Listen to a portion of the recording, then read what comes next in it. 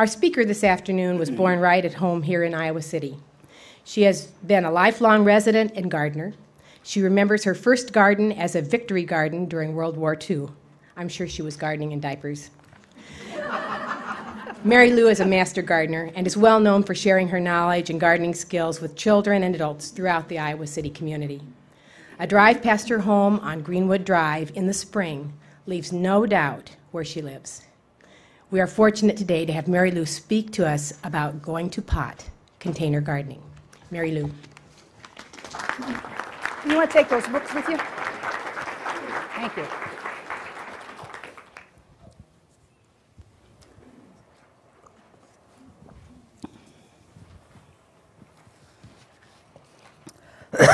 when my great grandparents came to Johnson County in the 1830s and homesteaded along Old Man's Creek, the soil was the means of their food source.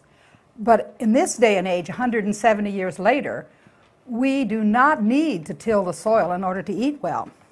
But it seems that man still likes to grow things. And if you don't believe that, go by a high rise and look up at the balconies, and you will see everything from house plants to flowers to vegetables growing on every little bit of allotted space that people have.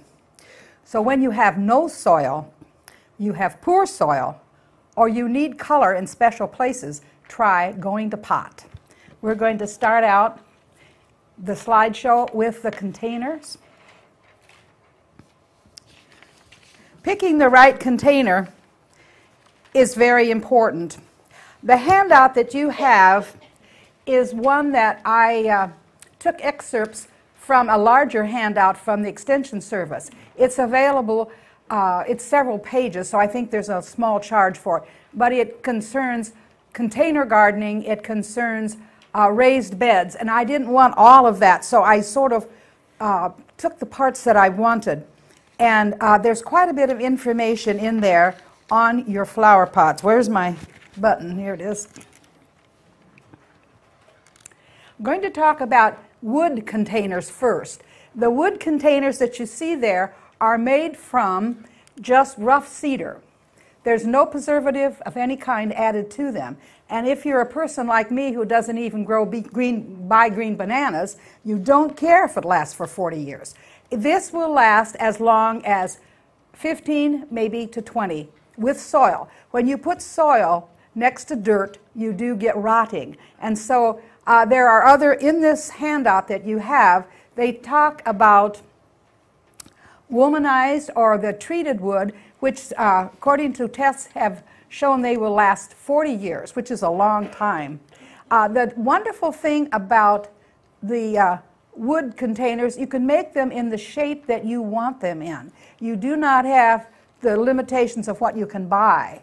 For instance, this container was one that we created for a problem. I used to work for a lawn care company and they asked me to do flowers in this fast food uh, restaurant. Well, all I could see was people walking out the door, slurping their, their soda and walking right through the, the flower bed and I could not see that anything was going to last there. But by putting this planter, which is triangular, we were able to have flowers growing and have them not get stepped on. So that's the versatility of using wood, that you can make the shape that you want. The other wood that lasts a long time is redwood. And this redwood planter, I think I had for 20 years. I did not uh, get a new one because it had rotted out. I just wanted a new one. You know, we get tired of those same old things. So when I was through with this redwood planter, it was still in very, very good shape as it sat on the front of my, of my step. I went to this type, and I have one here today. It is a um, plastic variation. It's kind of insulated.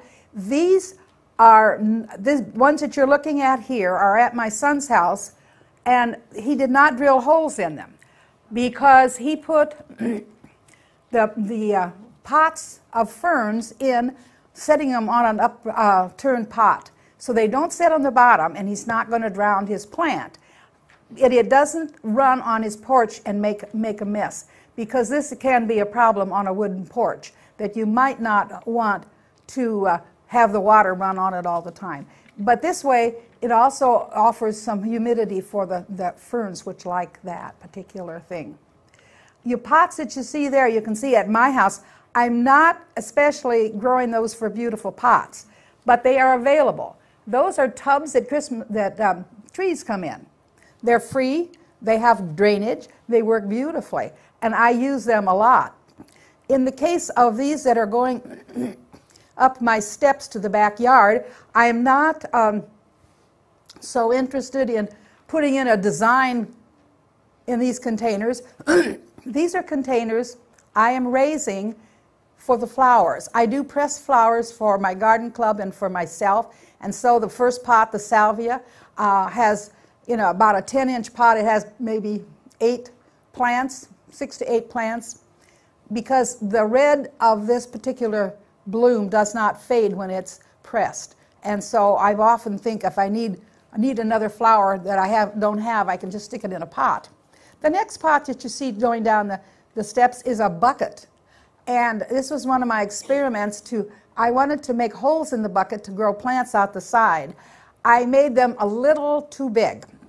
So I countered that by cutting a milk carton and slipping that in to close the hole up. The um, uh, container now works pretty well, but at first when I poured water in it, it just all ran out those holes. Once the plant gets its roots and gets settled in those little holes, it'll be fine, and that's just a Dusty Miller. But I want to show you that you don't need to spend a lot of money to end up with containers if you've planted a tree or somebody you know has planted a tree. The containers that I make here are made of what I call lightweight cement. When my daughter-in-law and I were working with um, the Rock Garden booth, I read a magazine, I guess it was in Time Life, a recipe for a lightweight cement to make into pots. And we made dish gardens out of these, and they also make wonderful uh, uh, trough gardens, which are very popular right now. The uh, original recipe called for one part each of three different ingredients. One was sphagnum peat. Now, this is the brown peat that comes all compressed in bales. It's not black peat. Sphagnum peat, one part, one part of either vermiculite or perlite. Well, we found that the cheapest was really vermiculite, which came in a, uh, you would buy at a, um, um, lumber yard, and it's just used for uh, building materials. So this was quite cheap.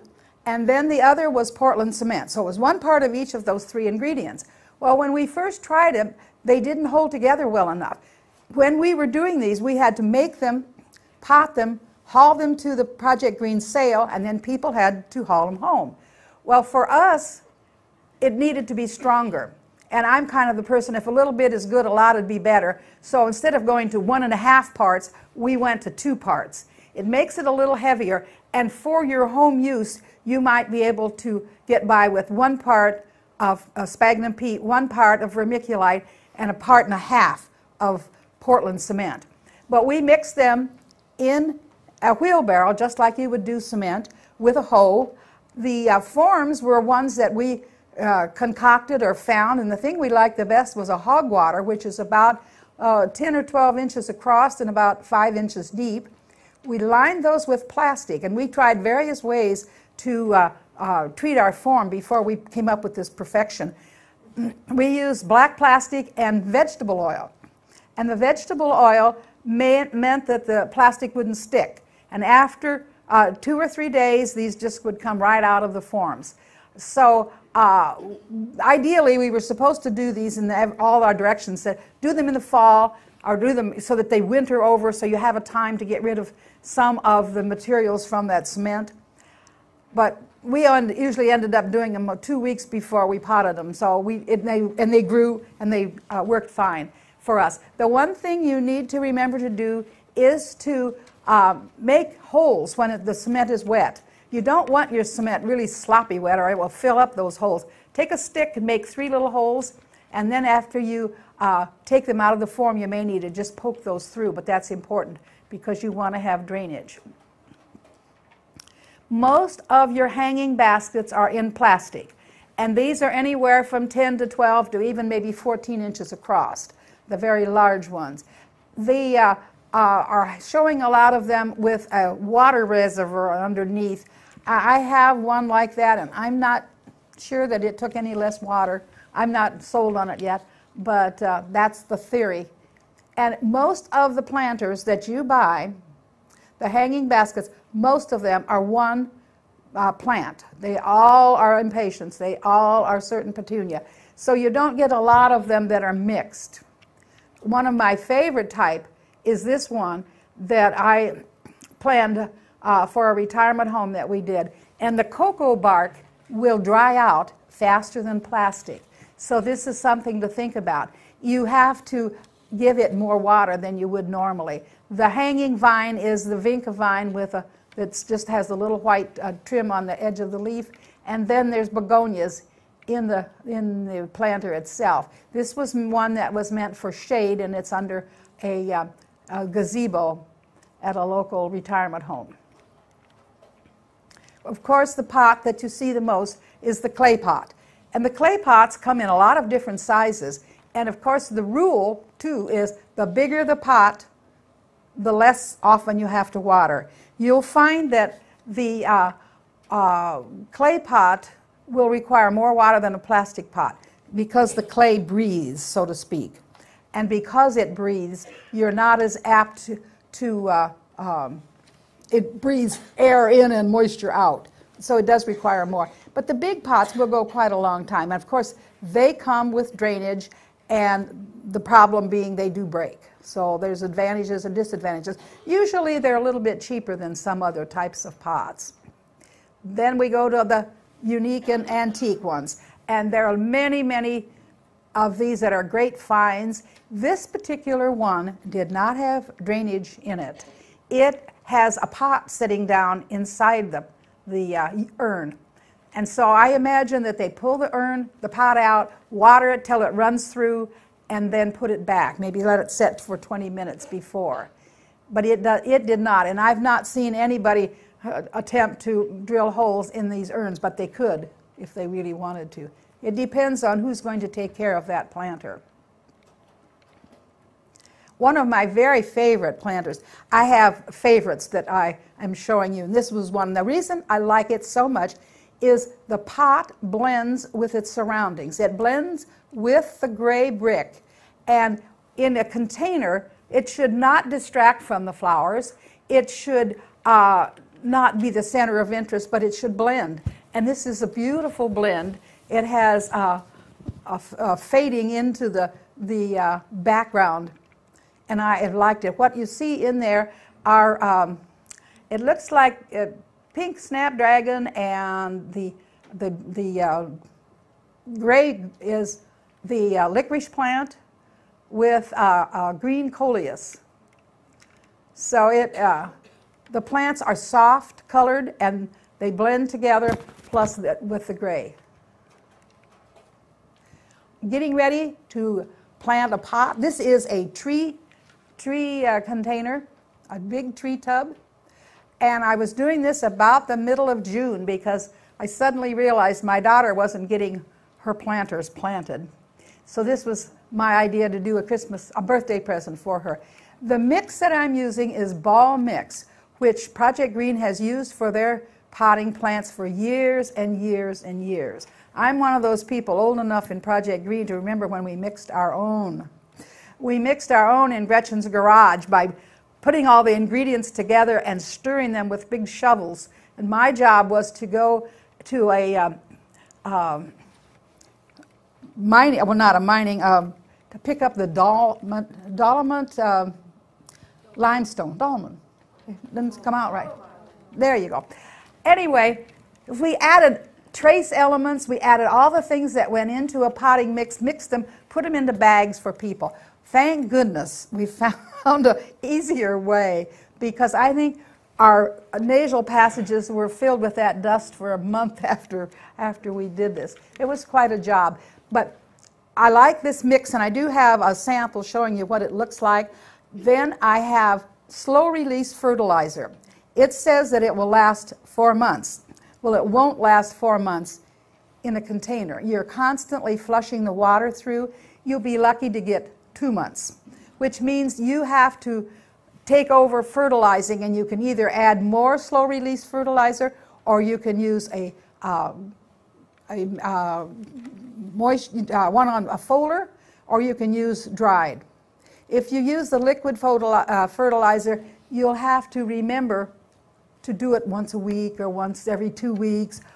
And since I don't like to do that, I like to use the slow release. You want to be careful if you're replacing your fertilizer in the middle of the summer that you don't burn it because if it's gone two months, it's hot and dry maybe when you're trying to add more fertilizer. So uh, your, your dry fertilizer, unless it's a weak solution, might, might burn your plants. Then I have sitting beside that soil moist, which I like to use in my containers. This, these are crystals that retain moisture. So once they get wet, they will release that slowly and you won't dry out quite as fast. The other thing, because you see the size of that pot, it's not, the roots are not going to go to the bottom of it.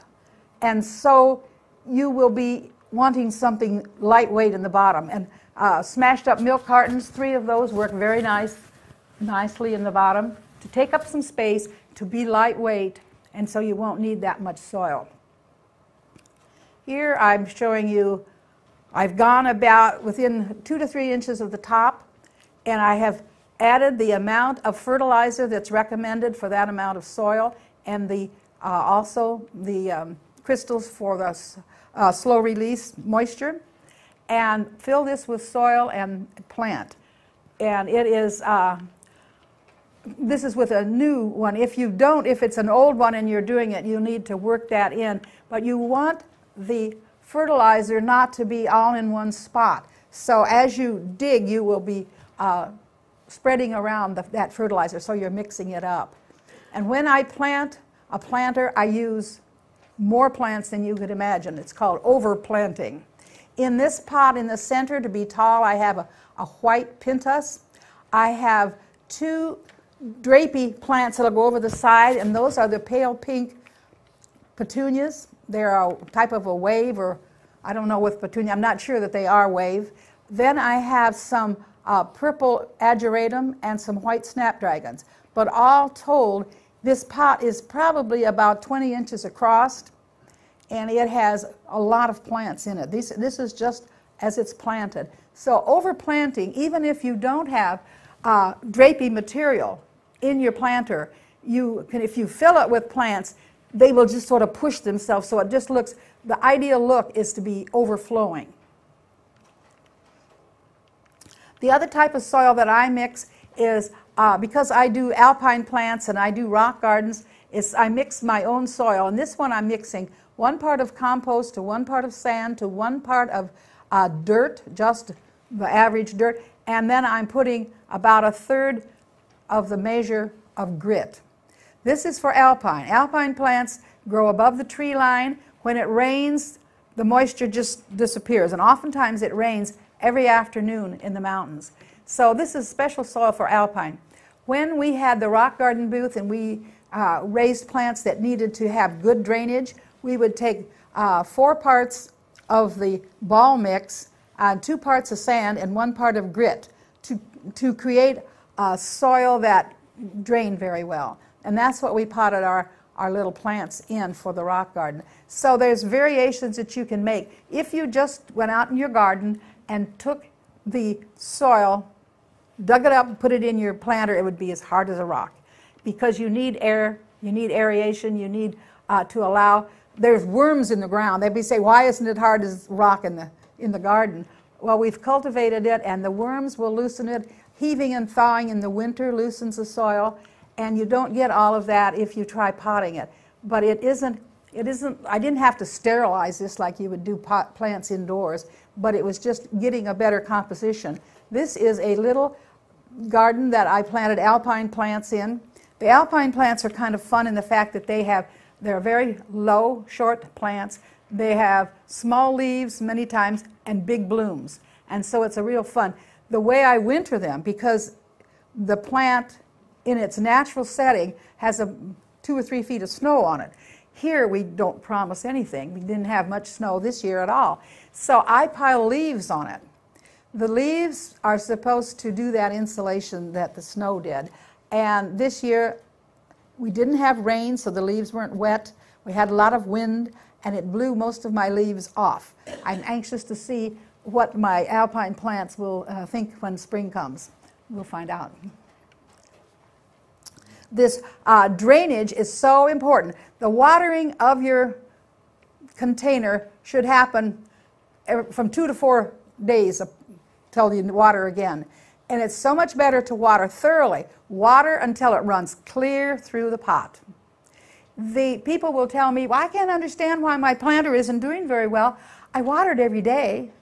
Well, if you watered every day, you filled all those little air holes with water all the time, and it's probably drowning. Oh, they never thought about that. You're just watering the, the very, very surface, the top two inches. So a thorough watering less often. And it'll depend on the location of your plant, uh, the wind, the sun, the temperature, all of these things, how often you have to water. But water when it needs it, and the rest of the time, just let it grow. The vegetable that is the most popular is the tomato. And most people will, if they don't have any other planter, they'll have a planter of tomatoes. In my planters, I grow two tomatoes each. And so I'm growing, I have two planters like this. So I grow a total of four tomatoes. Two of them are uh, indi, um, one, I, I should say three of them are indeterminate. One is a determinate. Usually I grow a celebrity that just grows, has a big crop, and then it doesn't do much. And the others, you need to have a lot of space to grow an indeterminate tomato because it keeps on growing and it keeps on growing. The thing that you're, you're reading about tomatoes is you should change the soil every two years. So if you have them in your garden, well, if you have them in a planter, how do you do this? I changed the soil one time after I'd had it for a couple of years, and now I have put plastic pots that are square in them. And this means this is the second year for that. So I will take it out, completely remove all the soil, sterilize it with Clorox, and put fresh soil back in for another two years. So this is the way that you can get new soil to uh, a tomato plant because of diseases that are born in the soil. The other tomato that's very uh, nice to use is this little patio tomato. The patio tomato has a very a very thick, healthy stem, and it doesn't even need much staking, but it doesn't have as many tomatoes. It's not as large of a plant. This is, is one that lends itself. And the, the handout that uh, we have tells you about all the things that you can raise. Uh, they go on about beets, carrots, cucumbers, eggplant, green beans, lettuce, parsley, pepper, radishes, spinach, summer squash, Swiss chard, beside the different types of tomato. Um, all of these uh, uh, plants, they didn't mention strawberries. If you've ever um, seen one of these, they can be quite successful. I don't think they're as popular as they used to be a few years back. It's a special clay pot that has pockets in it for tomatoes, and some places you can, uh, you can see them sold. You buy the pot, you buy eight tomatoes that do not send out runners, and you get the soil with it. So it's a complete kit. It's not going to, to produce very many tomatoes, but it would mean that you could probably uh, have strawberries on your cereal for off and on for about two months if you watered and fertilized these. But it's not going to be a big producers. But they are very handsome. And the next most popular thing is herbs. A lot of people will grow uh, herbs in a pot for the simple reason that herbs are terrible to spread in the garden. This means, though, that you can also maybe bring them in and get a few more months of food from them for seasonings. This is my son's garden who really got into herbs, and instead of putting them in his little raised bed of herbs, he has put a lot of them in pots. This uh, means that it, otherwise it would have taken the whole space, especially if you plant things like um, chives will spread rampantly, and your mints are bad spreaders, your thyme will spread. And um, the, growing them in containers is one way to contain them. People ask me if my children raise a lot of, are they gardeners after they grew up in my home as gardeners? Uh, all of them have, this one is just recently gone. He's into the fanciest kitchen garden you have ever seen. He has a, a large hoop with tomatoes growing. He has a, a climbing spinach. Uh, he has bean poles and uh, amazing things that uh, he's developed over. So if you go to his house for dinner in the summer, you know you're going to have a very healthy meal. It'll be all veggies. a lot of veggies are growing here. When we visited, the garden club was in, uh, in uh, Powell Gardens near Kansas City a number of years back. Most of these are growing in about two gallon pots, and there's a lot of information. Uh, people ask me, well, why would you want to grow some of these vegetables? They might be something that is your favorite. I also suggest if you're a grandparent and you have a grandchild who is not going to have the joy of planting a seed, watering it, seeing it develop, and growing into something he can eat. This is a wonderful project for you to do with them. Be sure if you start something that they're going to have success. I, I judge 4 H and I talk to uh, young people who are gardeners because I do the, the uh, um, vegetable produce as they bring it in. And the thing that's interesting if you have a child who does not like vegetables, if he has grown that and harvested, he has an entirely different thought about it. And you'll have kids that'll tell me, I never liked spinach. I never liked uh, tomatoes until I grew them, and now they're my favorite vegetable. Sometimes they have a prejudice if they've tasted them when they're younger and they just never try them again. So it's a good way to get young people interested in vegetables, and they're, they're attractive as far as that goes. There are cultivars suggested here that are, are bush types instead of long vines. So this is a possibility too. Not everything uh, that we used to have in the garden that took up so much space, it has the same way. They have changed things. So they are available in a bush variety, for instance, a bush cucumber. And if you raise a thing like cabbage and it produces a cabbage head, you can harvest that and use it for a second crop. You could plant green beans or you could put some uh, uh, onion sets in that. But this is just a fun thing. And if you miss your vegetable garden and all you have is a patio, unless it's on the north, the one thing about it is the requirement is much greater for anything that blooms. If you have a vegetable that blooms and produces fruit, it's going to want full sun. It'll take at least six hours during in going into the middle of the day. If you have a leafy crop like lettuce or spinach, they can get along with much, much less sun and more shade. And your root crops are kind of in between. So it will depend on where they have the space for their planter, what they can grow anything that gets too big, you can always, instead of letting it go down onto the hot cement or blacktop, you can always build a teepee and create a little trellis for it. So it's possible to, to uh, pull those up and get them off of the ground. So this is just some fun things that you might want to do. And uh, so often you say carrots when you're grazing in your own vegetable garden, carrots are so cheap in the stores. You don't opt to do those. But tomato is something that doesn't taste the same in the store.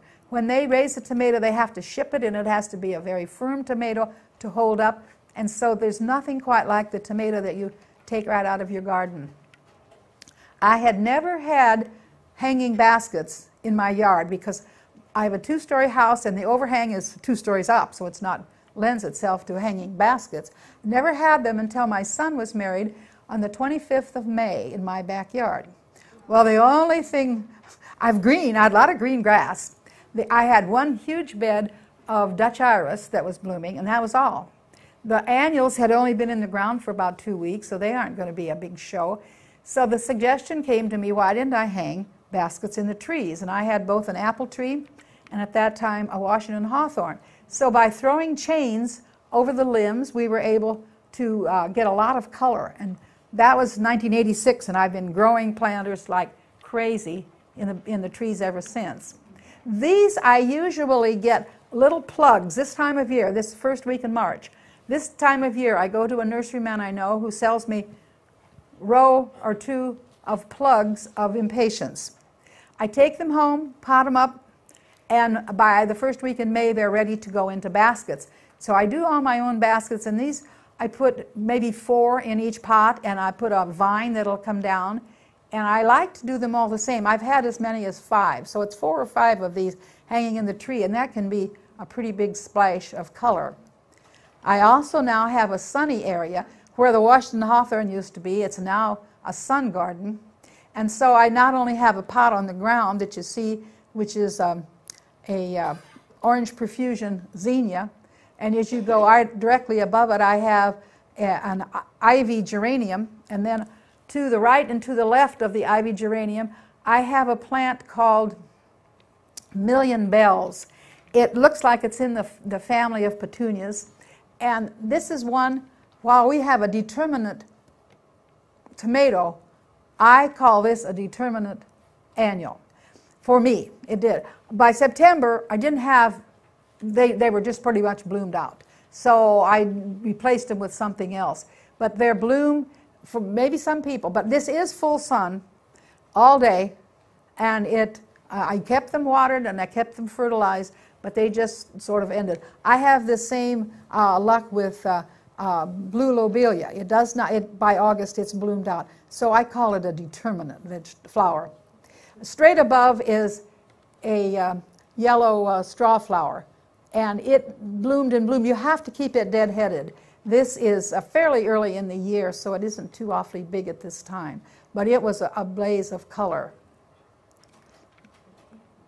If you're hanging your basket under an overhang, remember it's not going to get the real rain. And as you know, that real rain, there's nothing quite like it. The real rain is the one that, that um, you can water and water and water and it gets rain and everything just pops. So if you know it's going to rain, you can set it out. Or, but you, you know when you put it under an overhang, you have to provide most of the moisture. So this was uh, the case of this one in the gazebo. Also, remember that the sun is a different angle. This was taken in September at the uh, Lion Club uh, tour, garden tour. In the summer, that overhang shaded them pretty much midday. But this time of day, this time of year, it is going to get more sun. It's not as strong. But think about that too. The nice thing about container gardening is you can move them as the year progresses. You can move them to a better place.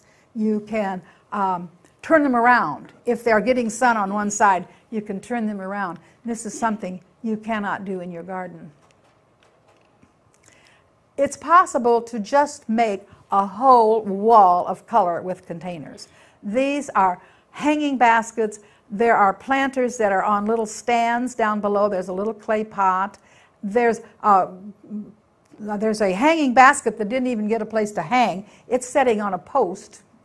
But by using containers, you can just really do a big mass of color. And I have several places in my slideshow that show you that how, it, how you can get, this is another place, a lot of color can be had by hanging plants. Now they have a couple of baskets hanging under the deck and then they have the sack. That's another type of a container.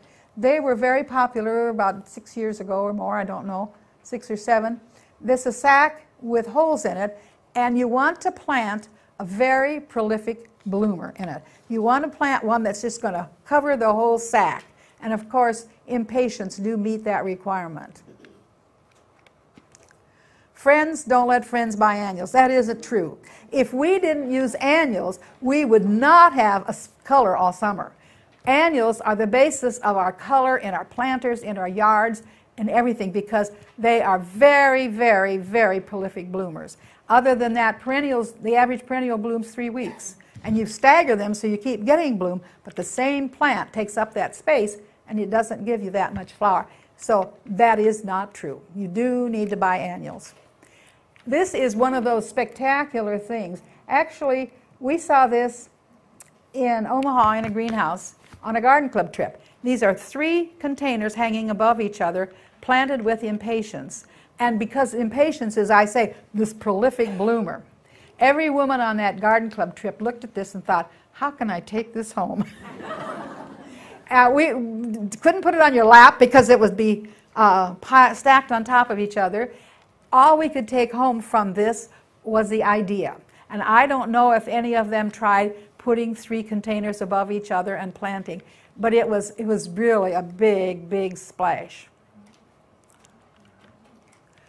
Another yard that shows how they, they, so often when people will put this masses together, they put all colors, It's like a perennial garden. They put yellow with red with pink. There are one, two, three, four, five, six, seven containers hanging on the house. And there is at least two planters sitting next to the house besides things that are growing in the ground. So this is a big, big splash of color, all growing in, in containers. You can make a big splash with one color also. Uh, I don't ever tell you which one. I, I, like them all. I like all colors, and I like the, the uh, single color. But these are two window boxes and one planter below, just planted with red geraniums that are kept blooming and blooming. And speaking of keep blooming, if you want any of your plants to keep blooming, most of them you have to deadhead. Deadhead is taking off that spent bloom. The pattern of, an, of a plant is it goes from seed to a plant to a bloom to seed. And what you are going to do is interrupt that going to seed so it goes back to, to seed again and not, uh, not uh, quit blooming because it's taking all its energy to grow seeds. So when you have geraniums and they just start to fade, don't wait till the whole plant has all of the, the blooms uh, dead and uh, blown away and going to seed. Just the minute one of them starts, cut it off, and you will continually get bloom. Geranium, if you leave it all go to seed, there's going to be a, a, a lull in your bloom. So be on the, the stick about going out there and chopping off the dead ones as soon as they occur. And I think you'll be well rewarded because you'll get much, much more bloom. Here's another case of using a big, big, big splash. This is the big splash that you get from um, all one color. This is the petunia, but here's it's petunia and a geranium. There is a white geranium up there. This was in a hosta garden that we saw, and it really gave a bright bit of color. This is my uh, window box, and my window box is about six years old, and I've put different things in it every year. This particular year, the um, uh, snapdragons is something I discovered. I love my little red snapdragons. They are another thing that when I grow a tall snapdragon, by the time the whole uh, stalk is done blooming and snip it off, it seems like it delays the next bloom. The little dwarf ones, I snip them off just as soon as they finish, and I can almost keep them just consistently blooming all summer long. Now, these are the little red and white uh, snapdragons. The um, uh, purple heliotrope is one that I've had every year. This is the south window in my living room, and it's got inside there are two uh, very comfy chairs that we sit in a lot. And if we have a evening that we can open the windows, which in Iowa you not, can't always do. A lot of nights it's air conditioning on. But if you can open the windows, the heliotrope will fragrant the whole living room almost. So it's always had that, and this has got just white geraniums. I'll show you another picture of it when it was, this is talk overplanting. Uh, I have three plants of the uh, small leaf licorice plants. I have three, two plants of blackie, the uh, sweet potato plant. I, have, I know I have three heliotrope, and I have three pink geraniums. I don't know how many little pink dwarf ones I have. I also have a couple of um, bacopas in there. But this is what you call overplanting. There's some upright things, but a lot of, of draping plants all together in that planter. I like this color scheme a lot. This was growing in full sun at the Chicago Botanic Gardens, and I looked and I thought, what are they growing caladiums in full sun? Well, they do all right if you give them enough water. But I love the little planters they have above. They have about four plants in both of, all three of those. There's the uh, little drape over plant is a pink lobelia. The uh, white begonia and pink begonia are there's like two whites and one pink in the lower ones the top looks like there's two lobelia and two pink wax begonias. But they're overplanted and they're overflowing and they were just beautiful. The chicago botanic garden had this they call this the, the handicapped area because things were up high and i think people tended them and we also saw this there and this is petunias there were two like window boxes hanging above each other, and the petunias were so prolific and so overflowing that they hid the, the containers entirely. So if you want lots of bloom in the sun, the petunia is your top uh, bet. Your, lots of bloom in the shade has got to be the, the impatiens. This does not have bloom to speak of. This is a composition. It has all of the, the factors of um, elements of design. It has balance, proportion, because it's a big, big container. It has to be a big, tall plant. It has scale. The um, elephant ears are large, large leaf. You could not put those in a lot of, of different planters. It has rhythm. It repeats things through, through the container. The dominance is supposed to be that pink bloom from the angel wing begonia, but in this case, it happens to turn out to be the pink sign that told us what was there. it was fouled up. And then you have contrast the, the contrast of the smooth leaf with the rough leaf. And uh, it, was, it was sitting there for our purpose. And we are going onto these gardens when we're being toured, so they're planning it for us. One of my favorite color schemes is the monochromatic color scheme. This is a planter at the Riverside Gardens in Monticello. If you go through 151, be sure and take time to stop. They have this wonderful pink coleus. They have pink geranium, a red coxcomb, a white, I think it was a white snapdragon, I don't know for sure. And in the front is the red and white um, dwarf snapdragon again. But a monochromatic color scheme is several shades of reds or pinks. And uh, it's probably one of my favorite if you go ideally, this might have this planter might have to have a little more height, but I won't argue that. I just love the color of it. The containers outside the uh, University of Missouri, uh, Missouri, Montana, ah, University of Minnesota Botanic Gardens at Chanhassen are always planted in a color scheme. The color scheme this particular year was gray, white, and lavender they, they had them, all the flower beds were planted. They used a lot of heliotrope in some of the other planters. And I was probably there in September because that's usually when I, don't get there until about then. And I have a brother in Minneapolis, so this is a good uh, stop when I go up. But there, it's always a fun, fun place if you ever have a chance to go. And these are, uh, I think there were about 10 planters altogether planted like this. If you go on Project Green Tour, you get ideas. And from ideas come things you want to do in your garden. The uh, planters next to the, to the door offer you a softening, it, it identifies the back door, but many back doors come out onto either a deck or cement, and they're not usually something we fuss with too much. This, uh, because they have the petunia that matches the petunia that's planted, there's alyssum, petunia, and purple salvia in the ground planting. But I came home from this and immediately created a planter for me. My, this is my first one. It's kind of, this is in uh, June we're doing this. And so I happened to have a grapevine wreath basket that I hadn't used, so I put a pot in that. I planted the pot that sat on the stool and I put the one in front. And from that, then I started, it, it evolved. The next year, my husband built me little stands so it would drain nicely from the planters. And I tried the Million Bells here, and they got tired in, in September. I saw in the magazine where they put um, bamboo stakes in for uh, something to climb on, and they uh, used copper wire and um, put beads on the top. Well, I thought it was a great idea, and I made this. And my dipladenia was supposed to go up that. All summer it just sat there and it didn't go up there.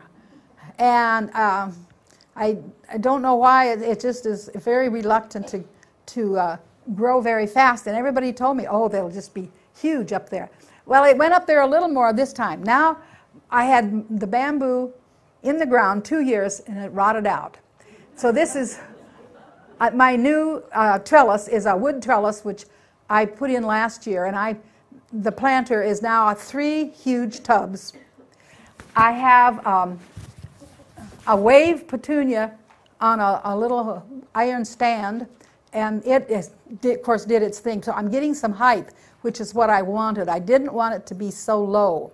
So my pots are about um, I measured them, they're about 24 inches. The two in back are 24 inches across. So they're big, big tree tubs.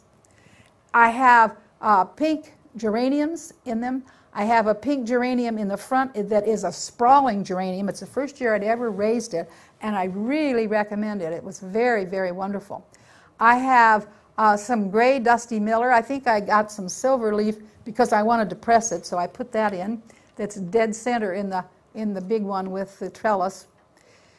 The uh, gray is uh, my small leaf licorice plant, and draping down the front is my favorite sweet potato plant, and this is variegated, and I've got a sample of one here.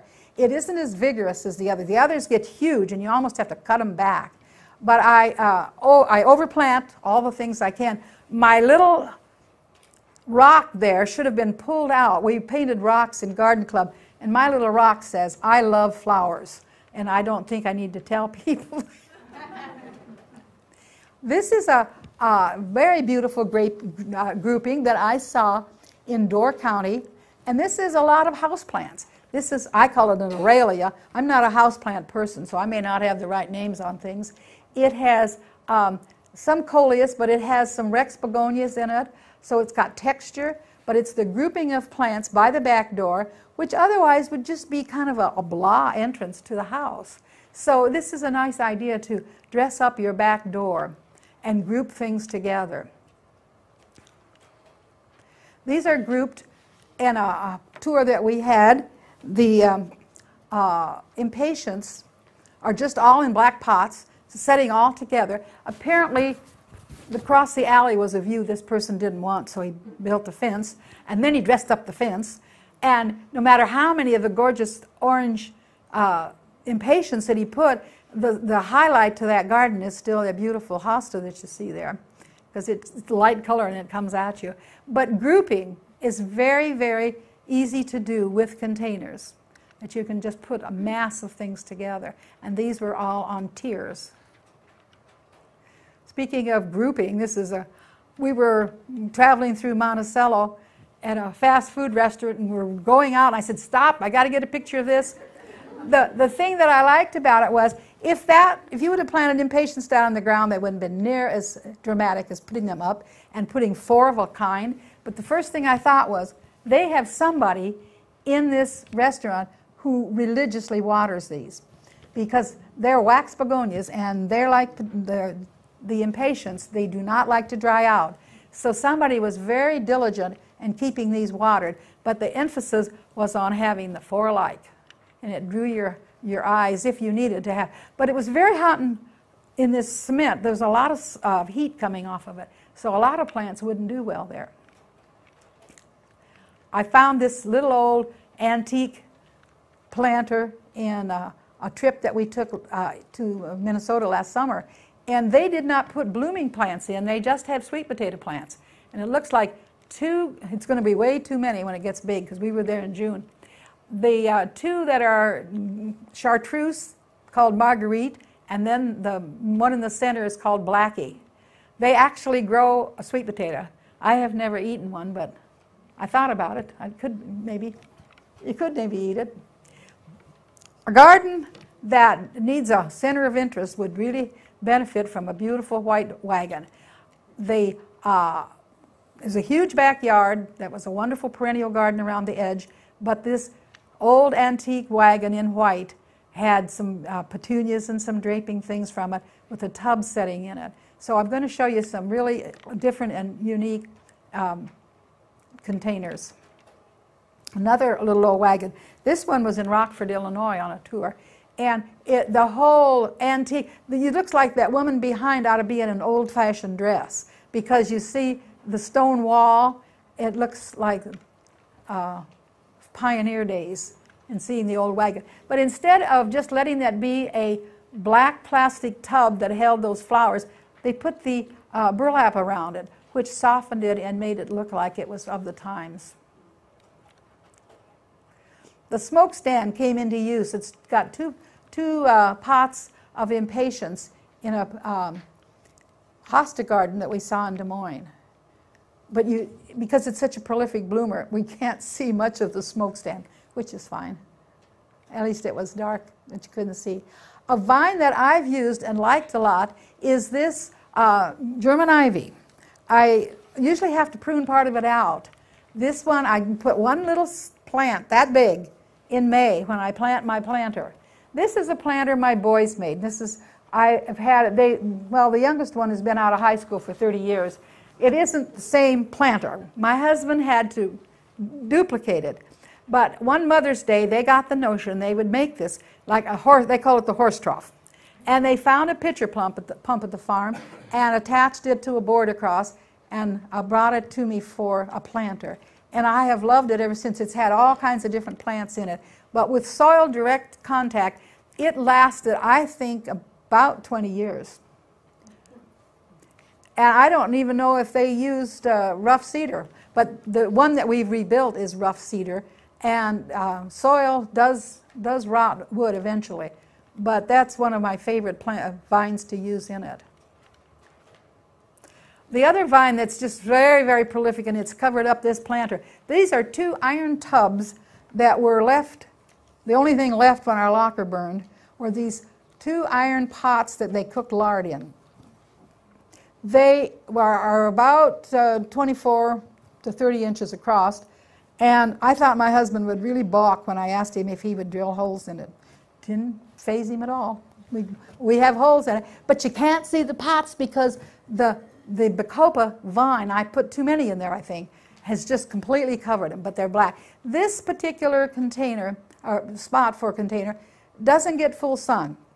This, to the west is this uh, uh, magnolia tree, which does a lot of uh, shading, and it doesn't always get full, it doesn't get sun from the early morning from the house. So I imagine, I don't know how much sun it gets. But geraniums, this is the thing that fools you. Geraniums are supposed to be full sun. One of the first things I did on my job is I went to uh, a bank that on the east and trees completely shaded the east side of the building. And they had growing there red geraniums. And I thought, well, they can't grow there. There's not enough sun. Obviously, the geranium never read the book because they were growing there, and they did very well there. So how do you know if you have not enough sun, the plant will get leggy and not bloom? So, so sometimes they have a wider tolerance of light than we know. So try them. That's all. Gretchen Harshberger used to always tell us, why don't you try it and see? And so that's how you find out if you have enough sun for certain plants. Trough gardens are coming into a very popular use. This particular one was in a hosta garden and it even had a little hosta in it.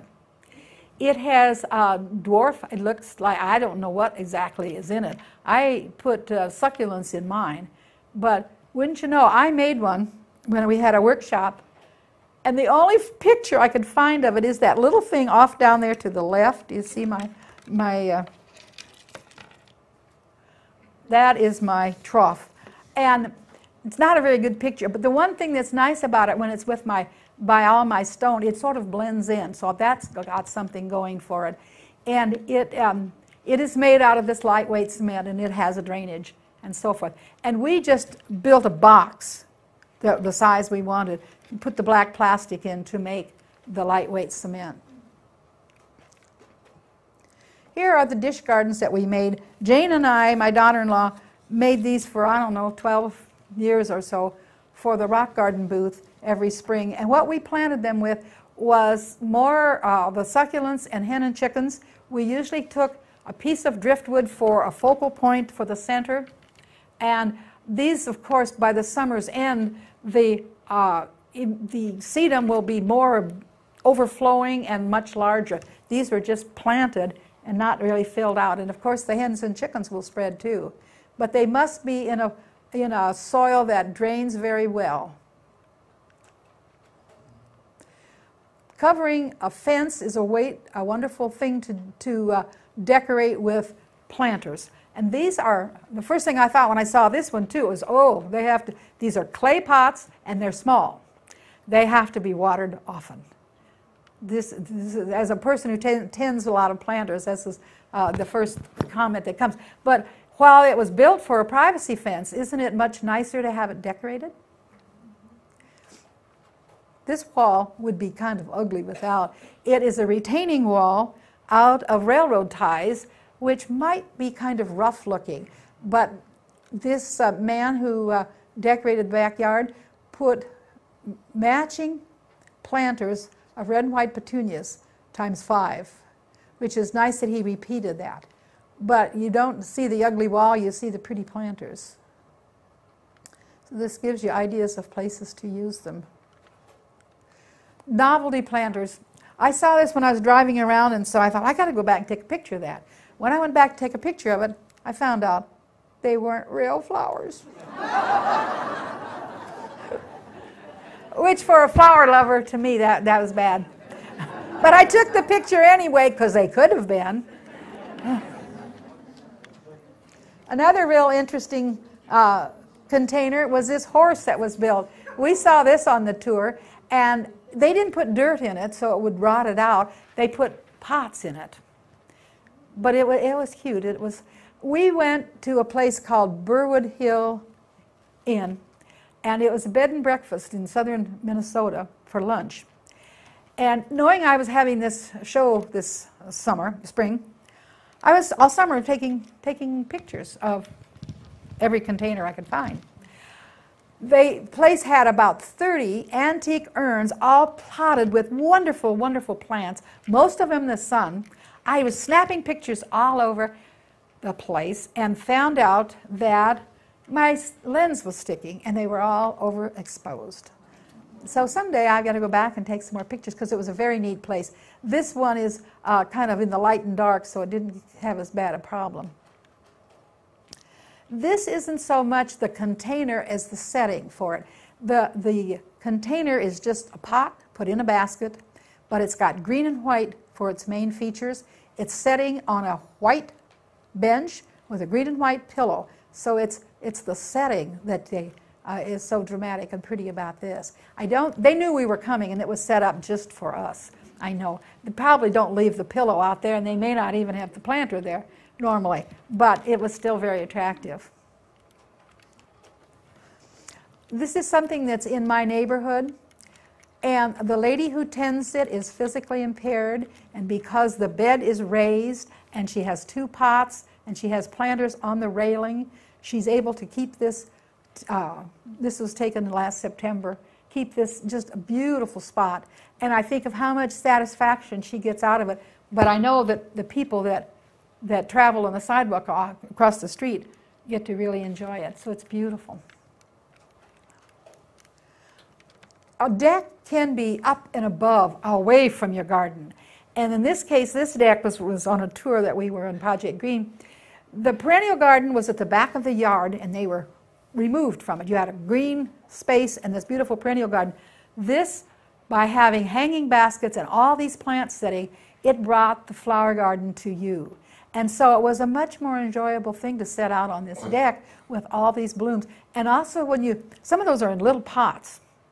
If you group them together, it's much easier. You, your hose can get several at one time. So this is another thing to think about is to group them together. Where do you get ideas for new plants? Well, the same catalogs that sell seeds sell ideas. And so uh, a lot of times you can see new things that people are using the uh, White Flower Farm has a picture of something I've been looking for that I've got brought to you. So this is idea you get. Uh, not everything you put in your garden are annuals, but some in Iowa they are annuals, and this is a fuchsia plant. If you have a greenhouse, you can easily keep it over. It's not really a perennial, I mean an annual, but you have to have the right spot for it. I have a friend who envies my spot for fuchsia because it turns out I it has the right amount of shade, the right amount of sun, and uh, I've had beautiful fuchsias there for a number of years.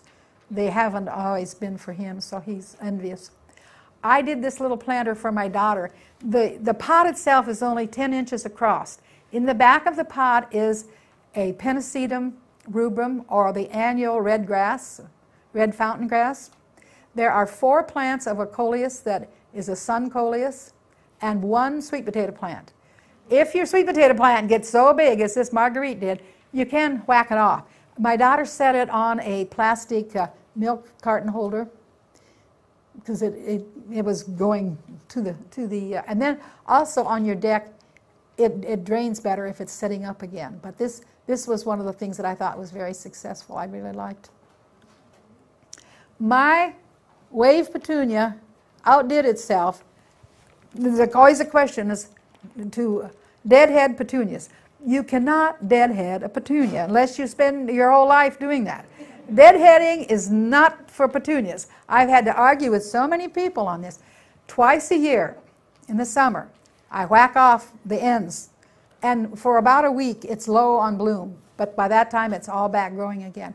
That keeps it from getting leggy and it sort of restarts it. But there's no way you could deadhead and keep up because I'd be out there all the time, and I'm not going to do that. I also found this was very important to deadhead. This is a a sprawling verbena. I have um, one of a sprawling, sprawling verbena in my plant here, but I didn't, couldn't find a red one. It's a purple one.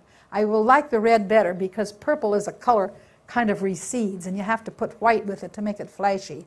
This verbena was deadheaded probably every two weeks. And it just then just came back and bloomed and bloomed and bloomed. And this is the end of my uh, horse trough this year, and I had the, this vine instead of my German ivy. I had the uh, small leaf licorice plant. One of my favorites, because this is a monochromatic color scheme again, and it's got all the height, it's got all the right things, is this planter that was growing. It's a wood, it's like a, a wood whiskey barrel, but it's out of wood that's not a whiskey barrel, it's an imitation. It was growing at the state fair. If you only have an hour at the state fair, go to the to the uh, garden that the master gardeners tend there. There's lots of good ideas and lots of fun plants growing, and this was very pretty up there.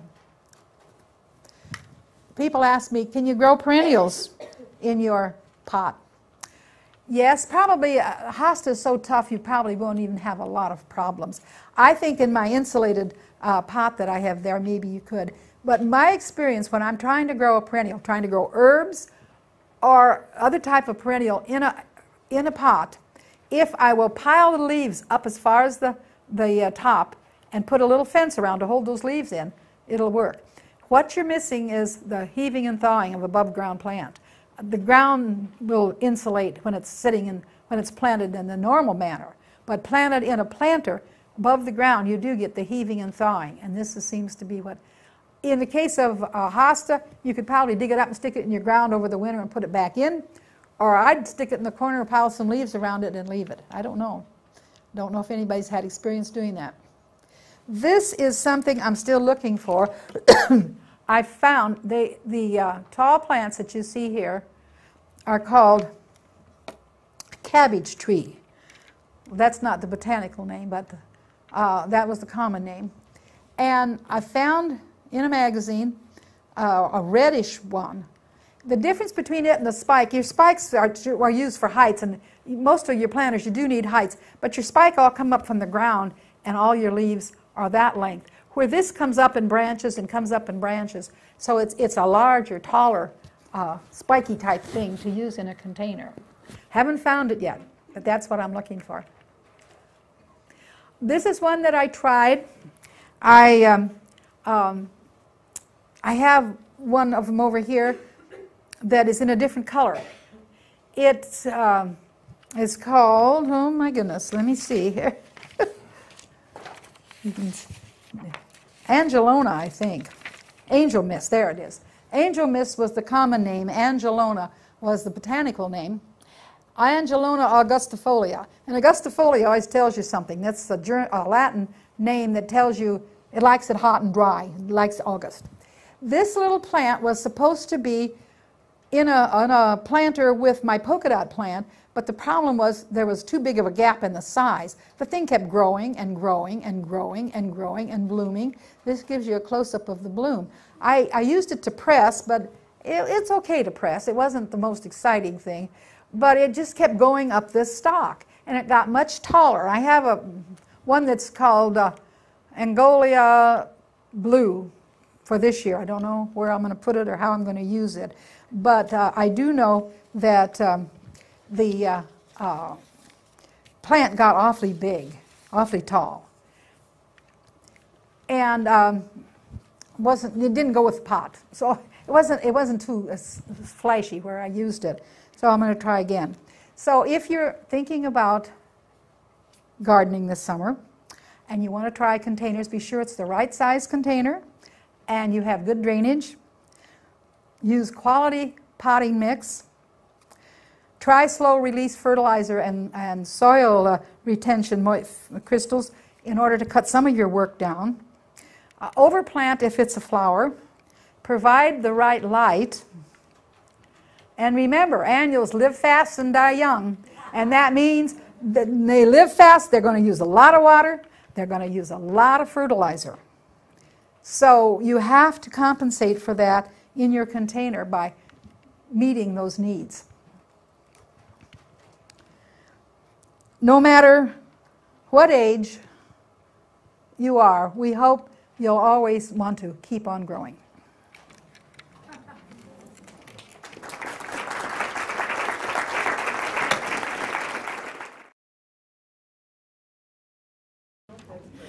Where do you get your two ball soil mix?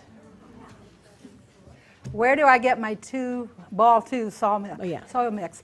Um, I have to. Usually, I don't. I don't want to recommend any one person over the other, but I know where I get it. I I was thinking last uh, year when I was buying my plants, I could go through about 12 different uh, merchants and I bought things at everybody's. So I'm not recommending anybody over the other, but I know what's available. And Joyce's Greenhouse does carry the uh, Ball 2 mix, and we just got a new big bag. It comes in 40 pounds, and I, it's about $12. So it's very reasonable. Mm-hmm. How much water do you add to make cement dishes? That's something that you just tell it's right. It's just like putting flour in your bread. You put it until it's just right. You put in some, and if you wonder if this is going to hold up, then start making your uh, form. And if it is too dry, but you don't want to get it too wet. That's the one thing. And you want to be sure you can work quickly when you because it's it's cement and it will. You want to be able to put that into a form or do something with it out of your um, wheelbarrow. Mm-hmm. Where do you get by the grit? The grit you have to go to um, a feed company. They feed grit to chickens because chickens don't have teeth and they have to have grit to grind their food. And it's crushed uh, oyster shells. And it's, it's a feed company. I used to go to Gringer's, and Gringer's isn't anymore, so I don't know. Tell us how to sterilize soil with Clorox. I didn't sterilize the soil with Clorox. I was sterilizing the container. In my tomato planter, I have square tubs. If I take all the soil out of that, I will put a very strong solution of Clorox in and soak it in there. And usually, if you're, uh, I sterilize with Clorox in my uh, uh, orchid uh, watering, and in this case, I don't measure. I guess it's maybe a, a fourth of a cup to a quart. It's pretty strong. Nine parts water to one part bleach. There's, there's somebody that do it. Yeah, there you go. I have several large containers, larger than the one that you have up in front. and I'm wondering how to prepare the existing soil each year. Can I reuse it? How much should I throw or recycle? What should I add? I um, usually, with my, my, with my hanging baskets, I dump them completely every two years. This was the year I dumped them all, so I have to fill all of those. With my big planters, I will scoop out uh, perhaps um, two to three inches off the top and put new soil in. And after I do that, this is my opportunity to put in the slow release crystals like you saw when I was planting because I was going to add more soil to that, that picture as you saw. It was going to have more soil in there to plant.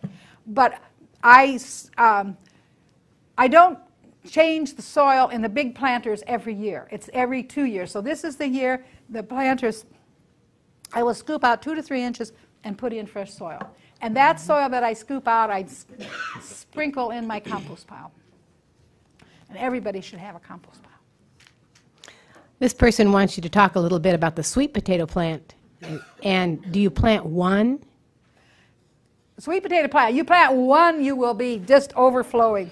um, the particular one that I bought here to show you is not quite as prolific. It doesn't get as big. This is the variegated one, and I don't know. For me, it never has. The marguerite, which is the chartreuse one, and the blackie, oh, they'll get yay long and lots of different spikes on them. So they really are very very huge plants. But with any plant, it's your plant. Cut some of it off if you don't want it. You don't just because it gets that big, you don't have to leave it.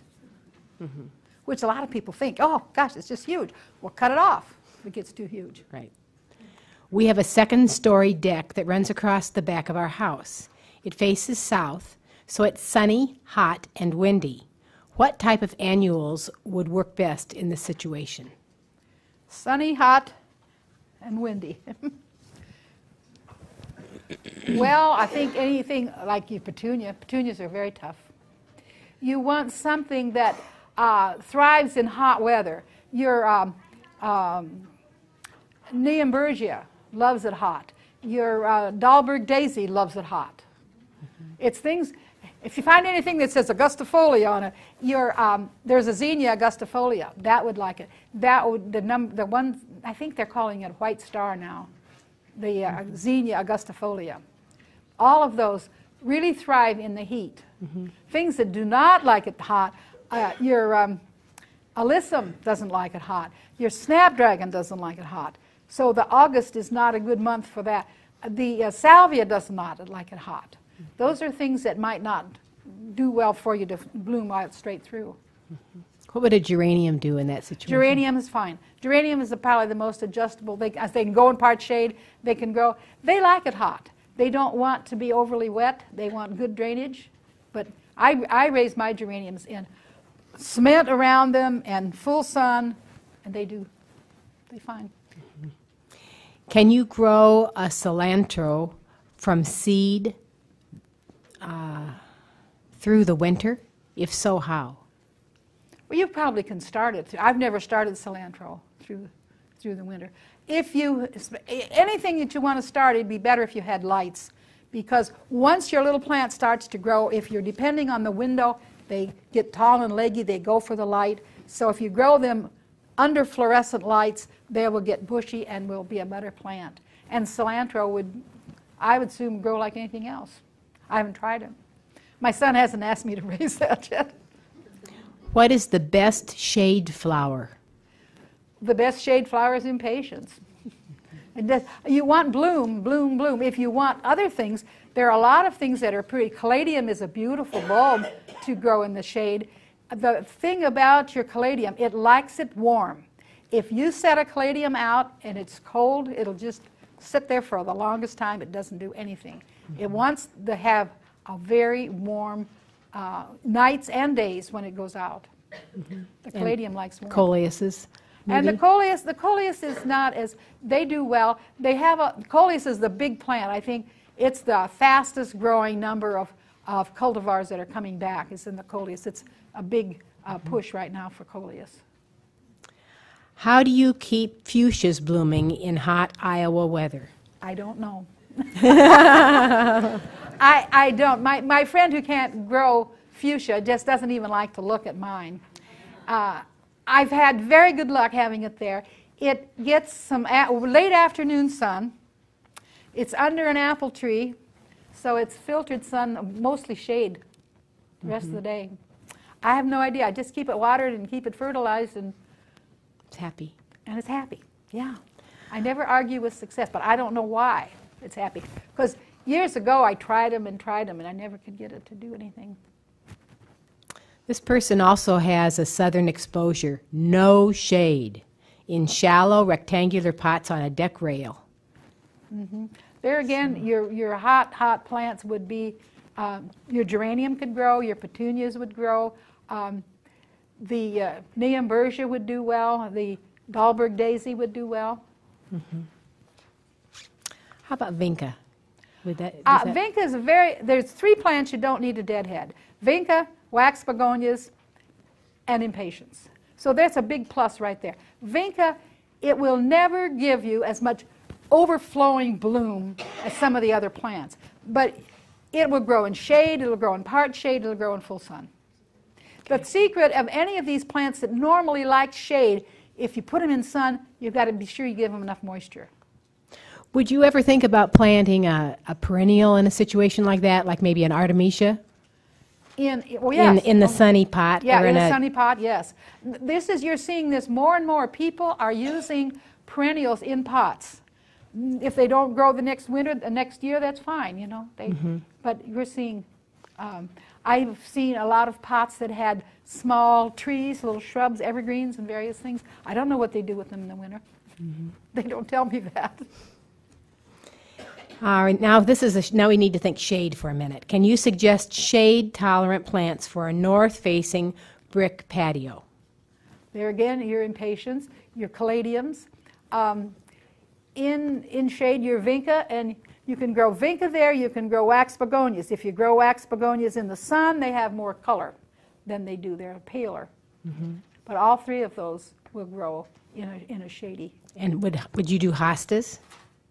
If you, if you want to put hostas in, a, hostas are so tough that sometimes people will throw them aside and forget about them, and a month later pick them up and plant them, and they still do well.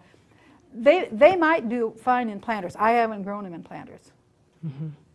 Okay. Is there some worry about discoloring or rotting of a deck when pots are on it and drain out onto the deck? Mhm, there is.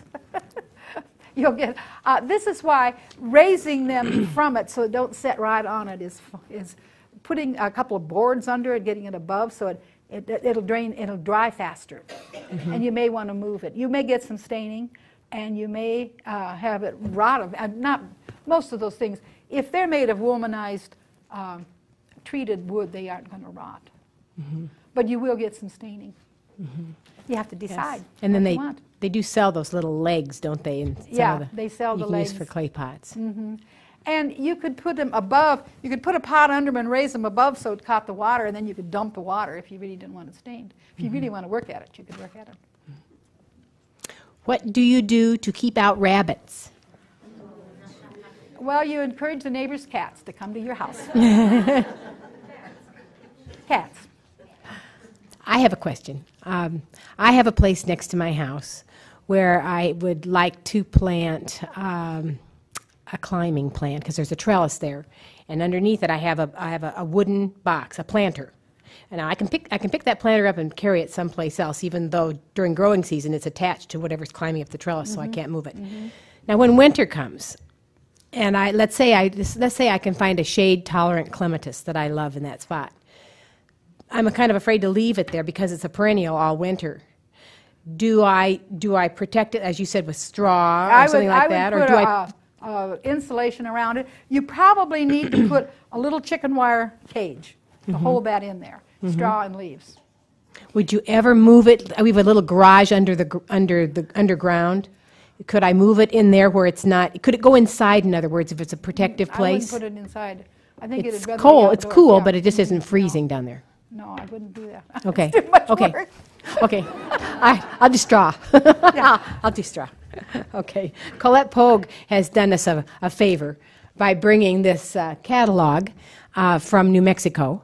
And she says that this is just a great catalog. And she has this one copy left. She wants to give it to someone who has a sunny garden, a very sunny garden, because there are things in here that she says will survive here in Iowa, and she wants someone else to enjoy this catalog. So, would you raise your hand if someone has a very sunny garden and would like to have this for a reference or? Here we go. And I need to talk about my plants. a Oh, now you're going to plant, or what are you going to do? You're No, going I'm to to- talk about. Okay, Marilou's going to talk about plants, now get out of here. Okay, I, I brought this pot because I do think this is going to be a, a neat thing to use. You notice that it has two, three holes in it, so it's not going to have a problem with drainage. The um, what I brought to go in it, oftentimes you get these packing things, you don't know what to do with them. You're not saving the box, I cut it up and put it. It's going to take up space, but it's lightweight. It's not going to add any weight, and I won't need as much soil to go in here. You can also use the crushed milk cartons, and I recommend those. Some of you have wandered up here and and spilled my dirt. Um, I have here the uh, mix that is for the alpine garden, which is very, you can feel it's very gritty. I have the ball mix. Uh, I have the picture that I found in the um, White Far- Flower Farm catalog that has this. This is called a cabbage palm, and what I saw in in uh, the Minnesota Arboretum was the cabbage tree. It looks like the same family.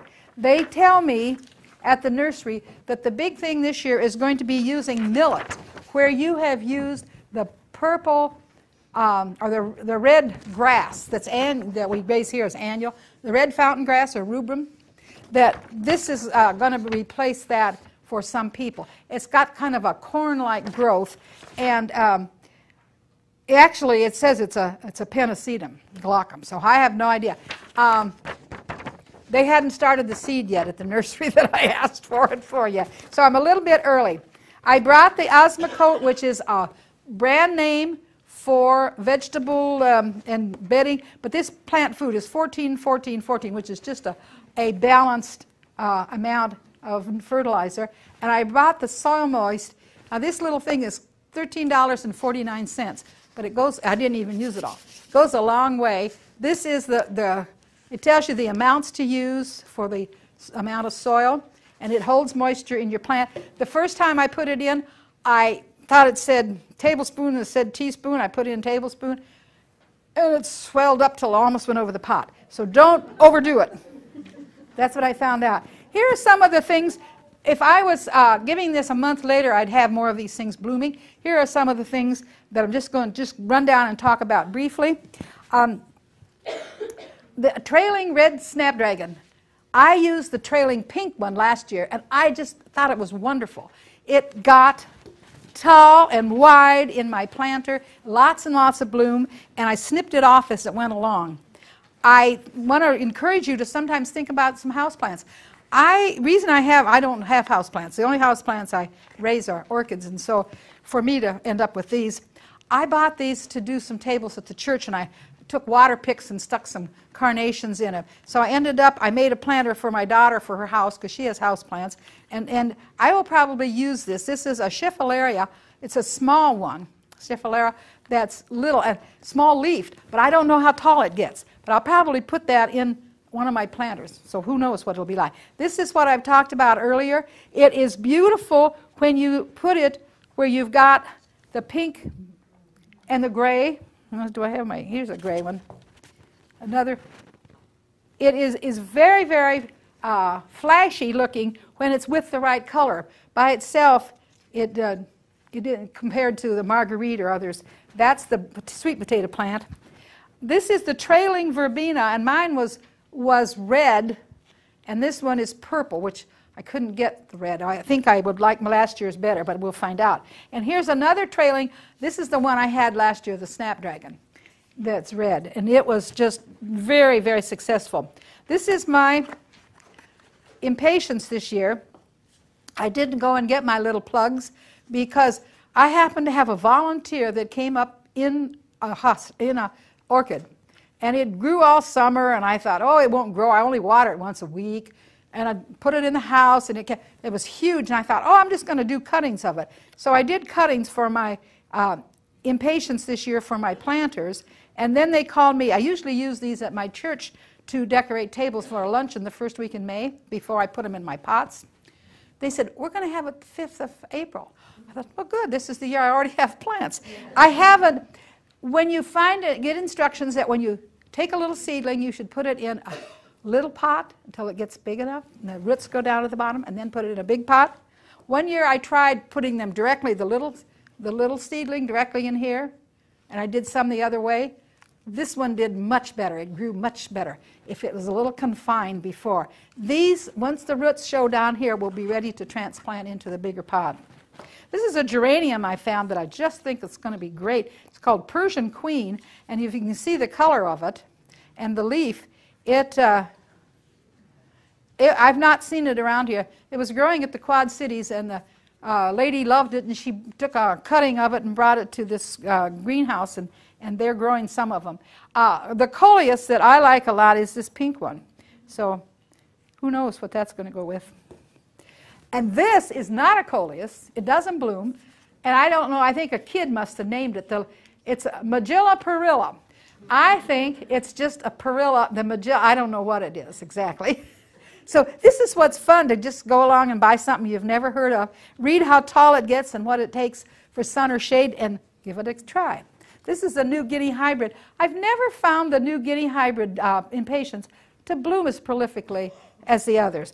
But it's a good color, and I thought we'd try and see what we thought of it. But see these, you're putting these together, and then this is a, um, this is that Angola. The thing that I had that was purple and white at the end that got so tall, this one is called Angola Blue and I don't know how I'm going to use it, but I hope I have better luck than I did last year. If you've uh, ever raised the icicle helichrysum, helichrysum is the licorice plant. I had this last year in several of my beds, and it was just beautiful. It said it, it gets, um, um, it spreads 18 to 24 inches. Well, I don't think it did that. It got, for me, about 12 inches high, and there were several branches on it. But it made a very, very nice contrast with the rest of your plants.